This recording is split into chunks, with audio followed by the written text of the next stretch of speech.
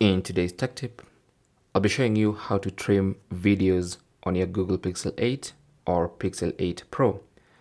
So let me open a video. I have a couple here that I took.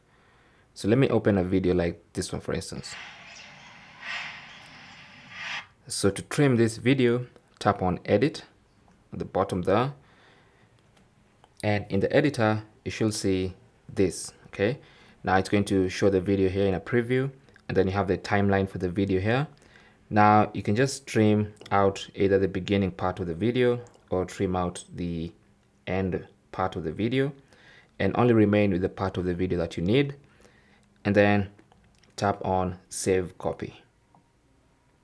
Now what this does is it's going to create another copy of the video that you've already trimmed but still keep the original long video okay so now when you go to the gallery as you can see I have the edited version of the video and I still have the original version of the video.